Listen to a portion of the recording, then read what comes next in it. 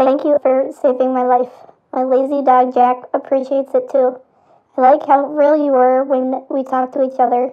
You made jokes about chapstick. You called me by my name. We talked about Marvel movies, and you asked me what my dog's name was. It's things like these that can turn a suicidal person's night around. After talking to you, I feel better and less angry.